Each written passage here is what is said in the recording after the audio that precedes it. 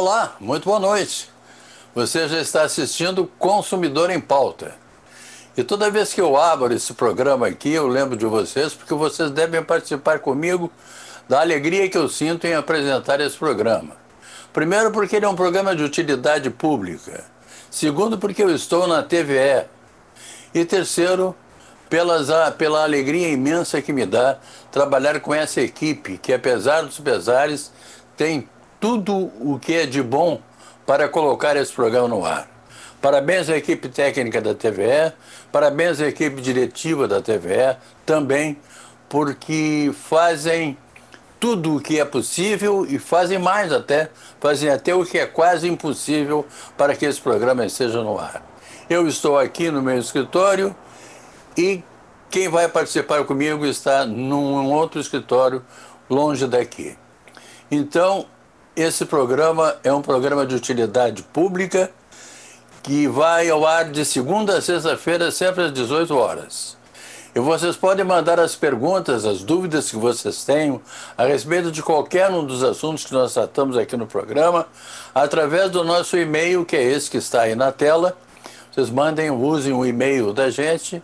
Podem mandar através do WhatsApp, que, é, que também está aí na tela, e vocês podem também agora, a partir de agora, usar o nosso vídeo.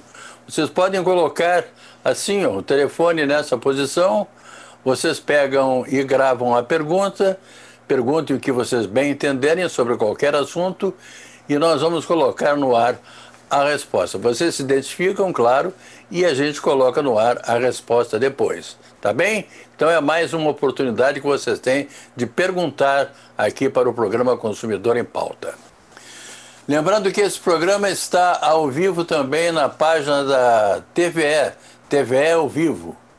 E se vocês quiserem, daqui a dois dias, assistir esse programa, também podem entrar lá no YouTube. Está todo o endereço aí, estão na tela aí os endereços para que vocês é, possam acessar livremente o programa.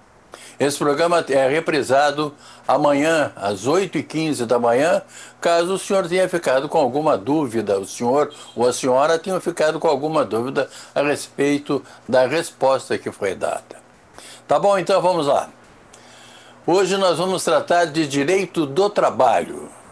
E eu tenho a alegria de receber aqui no programa, mais uma vez, o doutor Marcelo Armigliato de Jesus. Boa noite, doutor Marcelo, tudo bem? Boa noite, Machado. Boa noite aos queridos telespectadores da nossa TVE. É, boa noite ao pessoal que nos acompanha aí pelo Facebook, pelo YouTube. Um boa noite especial à nossa querida produção, ao pessoal da equipe técnica, que, como bem referiste, é, faz das tripas coração aí para nos colocar no ar, eu aqui do meu escritório. Então, boa noite muito especial a todas as pessoas que estão nos acompanhando nesse momento. É um prazer enorme estar de volta, Machado. Que bom, que bom que a gente está aqui, que bom que a gente presta esse serviço, que é um serviço de utilidade pública. Doutor Marcelo, eu tenho várias perguntas aqui para o senhor e eu vou começar fazendo já a primeira, porque senão depois eles sabem como é, né? Eles podem botar, nos botar para rua por justa causa, e nós não queremos isso, né?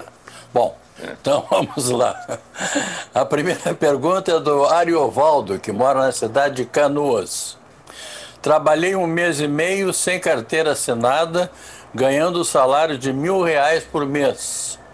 Gostaria de saber o que tenho direito e o valor que devo receber. E daí, doutor Marcelo? Bom, em primeiro lugar, boa noite, Ariovaldo. É, em primeiro lugar, então, você vai ter que ingressar com uma ação é, buscando o reconhecimento desse vínculo jurídico de emprego, é, comprovar que você trabalhava, que você era um empregado, que preenchia os requisitos lá do artigo 3 da CLT, que trabalhava com subordinação, de maneira não eventual para essa empresa que lhe contratou, que você trabalhou um mês e meio. A partir do reconhecimento desse é, vínculo de emprego, é, você já teria um primeiro direito aí que eu vejo.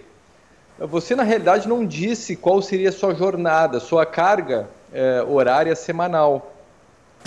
mas, se ela for de 44 horas semanais, você não poderia estar recebendo menos do que um salário mínimo, que é R$ 1.100. e você nos conta que estava recebendo mil reais. Então aí nós já teríamos uma primeira diferença que você teria direito. Os 100 reais de diferença do primeiro mês e 50 reais do segundo mês, certo?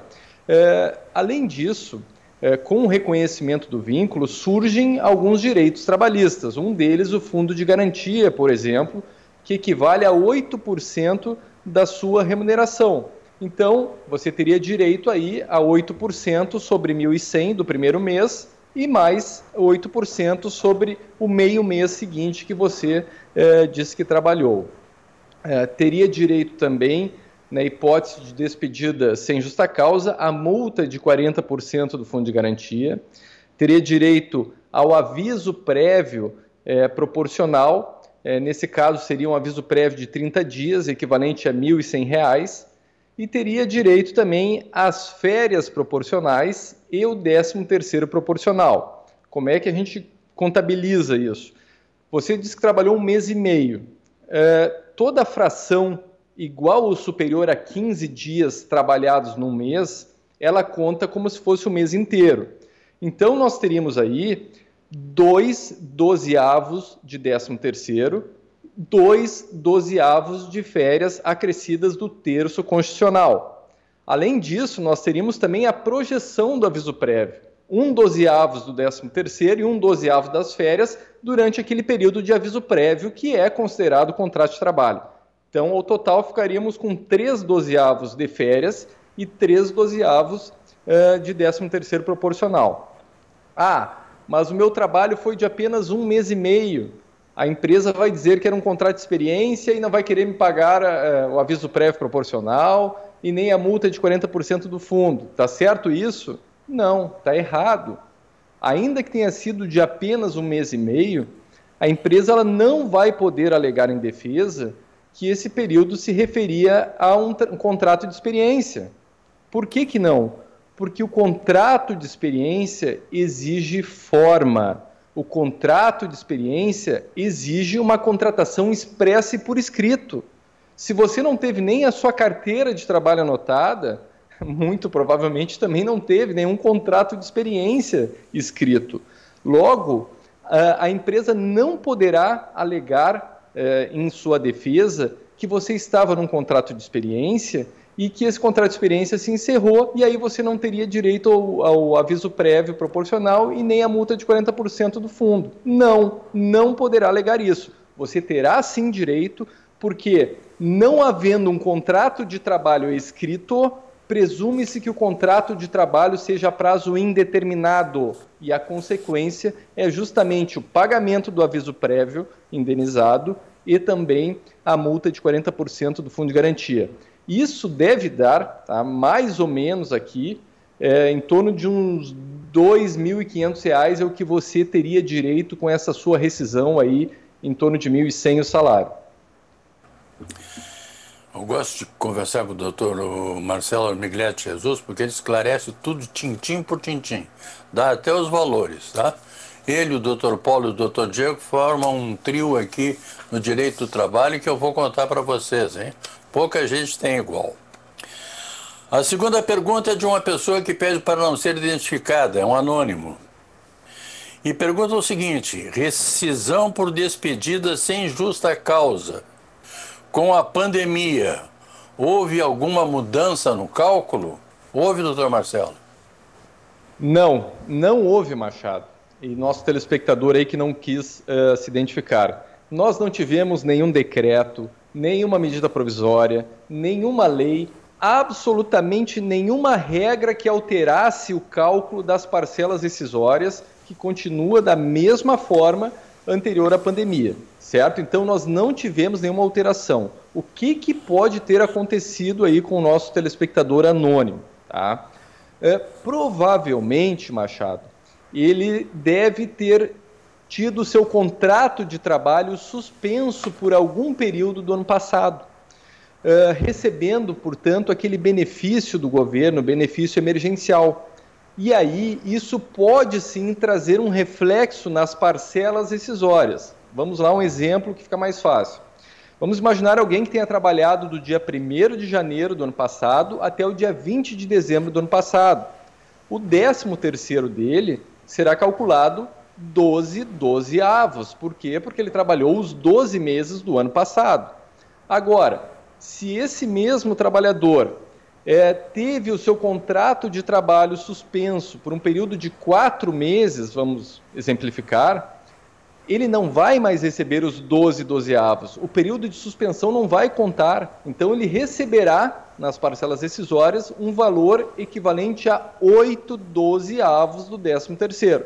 Então, muito provavelmente, o que aconteceu no caso nosso telespectador anônimo foi que ele teve o seu contrato de trabalho suspenso por algum período e isso repercutiu no cálculo das parcelas decisórias, que não houve nenhuma alteração no cálculo, houve essa repercussão em função do, do nosso contrato de trabalho ter ficado suspenso por algum período. Próxima pergunta é da dona Marina. Ela mora aqui em Porto Alegre. Sou auxiliar de saúde bucal, diz ela. Agora onde trabalho querem que eu tire raio-x. Porém, minha função não é essa. E até mesmo nem auxiliar, é, aliás, um auxiliar é proibido de fazer raio-x. Fazer raio-x nos outros, né? Claro, bater um raio-x, né? Meu patrão diz, diz ser minha obrigação e a dona Marina, que é aqui de Porto Alegre, doutor Marcelo, pergunta o que, que ela deve fazer.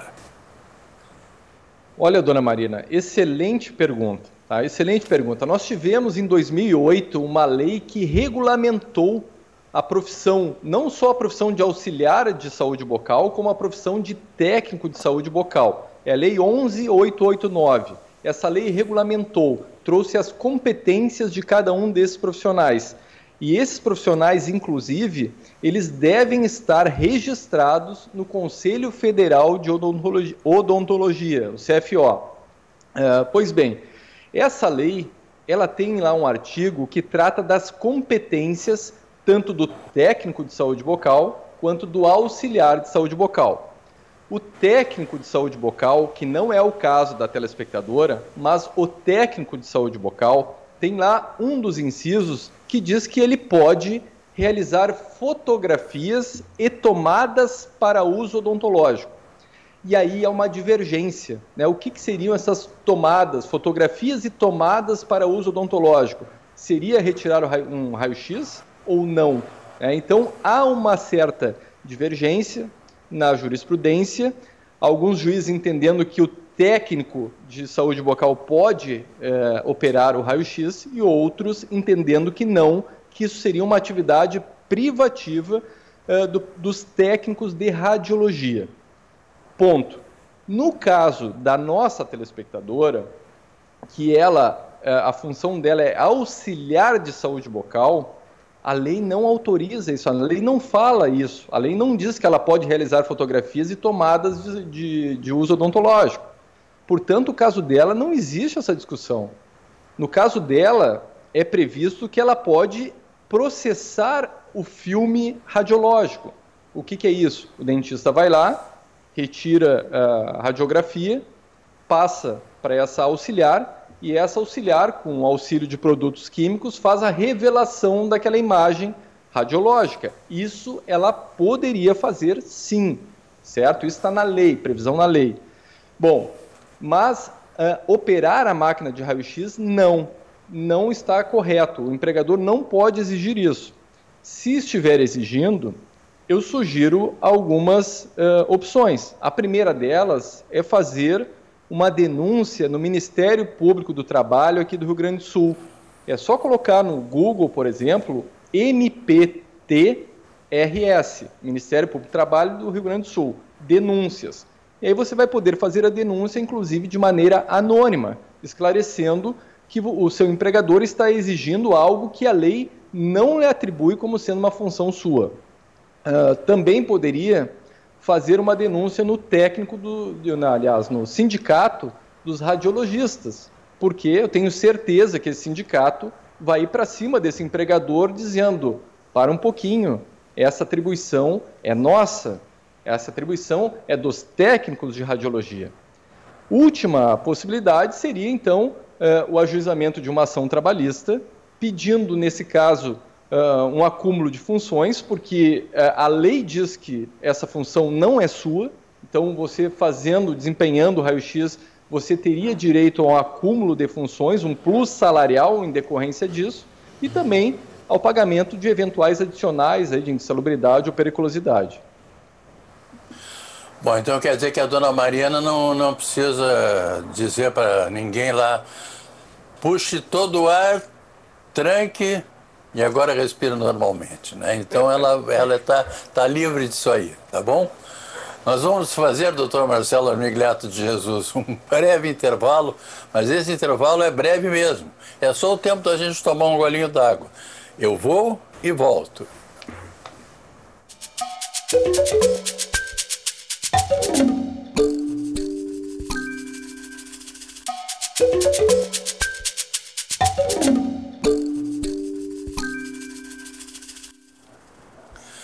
Você está assistindo o programa Consumidor em Pauta e o assunto hoje é direito do trabalho.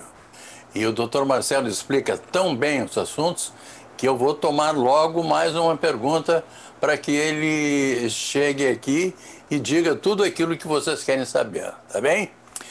Doutor Marcelo, a próxima pergunta é do Reginaldo, que mora na cidade de Eldorado do Sul. Estou de aviso e faltei um dia de trabalho por motivo de atraso de salários e atraso no pagamento de férias. A empresa me deu advertência e o seu Reginaldo quer saber se a empresa agiu certo, doutor Marcelo. Olha, seu Reginaldo, como diz aquele ditado, uma coisa é uma coisa, outra coisa é outra coisa, seu Reginaldo. Uh, o fato de, eventualmente, seu salário estar atrasado, uh, férias atrasadas, não lhe autoriza, ainda mais automaticamente, a faltar ao trabalho. Né? Você é, digamos assim, o ordenamento jurídico coloca à disposição do trabalhador que teve o seu salário atrasado algumas ferramentas, tá? algumas opções de indenização, inclusive. Nós temos aqui no nosso tribunal a súmula 104 do TRT, que diz que o atraso reiterado no pagamento dos salários é passível de indenização por danos morais. Nós temos, muitas vezes, previsão em norma coletiva da categoria multas pelo atraso no pagamento de salário. Então, caberá ao trabalhador exigir o pagamento dessas multas, exigir o pagamento dessa indenização. Mas não é lícito ao trabalhador faltar ao trabalho por esse motivo. Não, isso pode, ainda mais no aviso prévio, isso pode é, gerar uma advertência, como gerou aí, e dependendo da, da, do cometimento da infração durante o período do aviso prévio, pode até haver uma conversão daquela dispensa sem justa causa em justa causa. Obviamente que não é o caso do telespectador que eh, acho que se atrasou, né? Aliás, faltou. Uh, mas fique atento. Fique atento porque você tem mecanismos para cobrar esse atraso futuramente da empresa. Multas, indenizações não falte ao trabalho durante o período de aviso prévio por conta disso. Essa falta é injustificada. Essa falta poderá ser descontada do senhor e o senhor poderá ser advertido por ela. O senhor João Pedro, ele mora aqui em Porto Alegre, doutor Marcelo. Ele diz o seguinte: pedi na empresa para que me mandarem embora, mas eles não querem me mandar. Tem muita gente querendo trabalhar e o seu João Pedro está querendo ir embora. Tem os motivos dele, eu sei. Tentei fazer acordo, mas também não querem. Consigo entrar com pedido de rescisão de contrato na justiça? Meu salário está vindo errado. Estão depositando vale transporte na conta é, 228 reais, e no, no, no boleto estão descontando 70 reais de vale transporte, mais os 228 que aparece na conta. E daí, doutor Marcelo, o que, que ele faz aqui, o seu João Pedro? Olha, seu João Pedro, vamos com calma, tá? Vamos com calma. É, primeiro, a empresa não é obrigada a lhe despedir. A empresa não é obrigada a despedir o trabalhador que queira é, encerrar o seu contrato de trabalho. Existe, para essa hipótese, uma ferramenta um direito do trabalhador que nós chamamos de pedido de demissão, que na verdade não é um pedido, é um direito do trabalhador. Obviamente que esse direito ele vai trazer consequências ruins em matéria pecuniária, vai receber menos, ele vai deixar de, deixar de receber a multa de 40% do fundo, não poderá movimentar o fundo, não terá acesso ao seguro-desemprego e ainda terá que pagar o aviso prévio. Sim, tem consequências, é um direito que pode ser exercido, mas tem consequências, certo? É, em relação à possibilidade de ingressar com uma ação de rescisão indireta na Justiça, Justiça do Trabalho, é, pelos dados da pergunta, eu olharia com cautela. Tá? Por quê? Porque o, a empresa pode promover o desconto de até 6% do salário a título de vale transporte. É, então, nós teríamos que comprovar que aquela empresa ela está descumprindo o contrato de maneira reiterada, com atrasos reiterados no pagamento de salário, atrasos reiterados no repasse do vale transporte, do vale alimentação, se for o caso, não pagamento do fundo de garantia. Nós precisamos fundamentar o nosso pedido. Então, seu João Pedro, eu acho que a melhor saída para o senhor é procurar um advogado, contar a ele tudo o que está acontecendo e ele vai fazer uma avaliação para ver se é possível ingressar com uma ação de rescisão indireta e por fim ao seu contrato de trabalho. A próxima pergunta, doutor Marcelo Armigliato de Jesus, é da dona Helena, que mora na cidade de Montenegro. Fui demitida e estou cumprindo o aviso prévio de 23 dias, mas faltei dois dias na semana eles podem descontar do meu salário? Podem, dona Helena. Dona Helena e aos demais telespectadores, o aviso prévio, ele é contrato de trabalho. O aviso prévio é apenas um aviso, é uma comunicação que uma das partes faz à outra, uh, revelando a sua intenção de acabar com o contrato de trabalho o contrato de trabalho permanece incólume. Os direitos, as obrigações, os deveres, eles permanecem. Não há modificação alguma.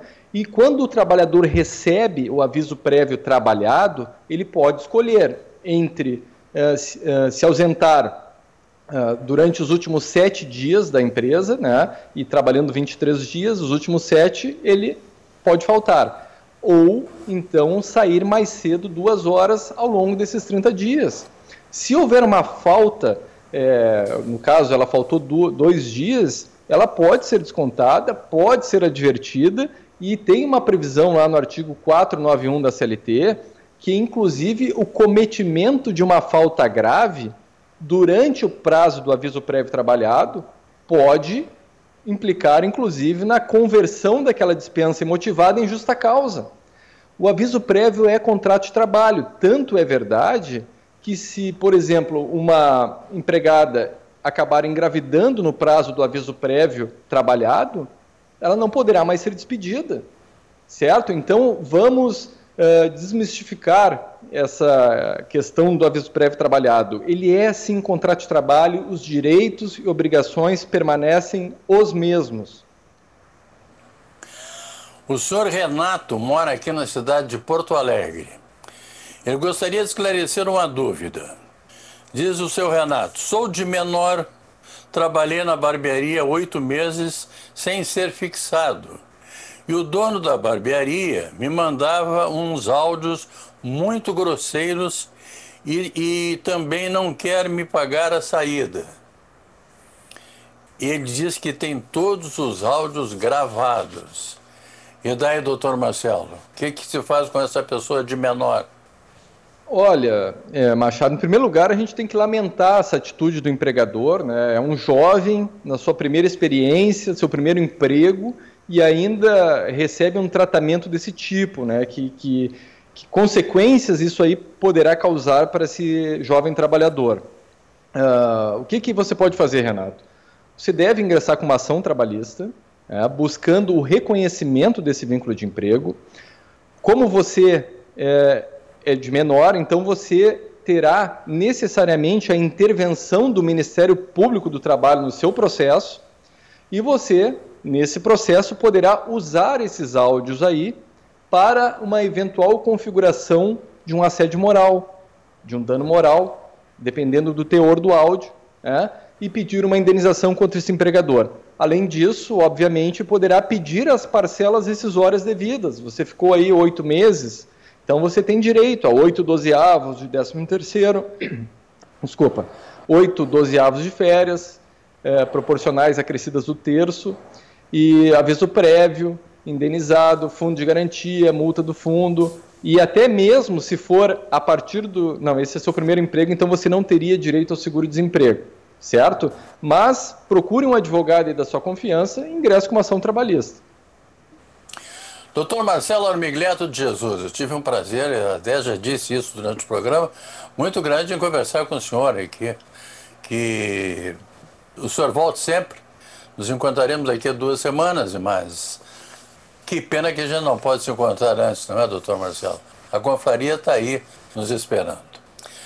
Doutor Marcelo Armigleto de Jesus, muito obrigado pela sua participação aqui. Lembrando a vocês que nesta quarta-feira eu estarei de volta às 6 horas da tarde. Eu vou tratar mais uma vez de apresentar o programa Consumidor em Pauta. A todos vocês, muito obrigado, muito boa noite e até lá.